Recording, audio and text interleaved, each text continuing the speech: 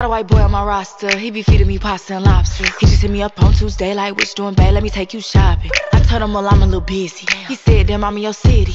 But anyway, it's okay, hope you have a good day. I'ma see you by day 50. Then I told him, you treat me so well. He said, cash out Pazelle. Matter of fact, scratch that, I'ma see you a stack just cause you fine as hell. And I told him, well, thank you, baby. Anything for my favorite lady. Well, I gotta go, they just let me know that I could pick up my Mercedes.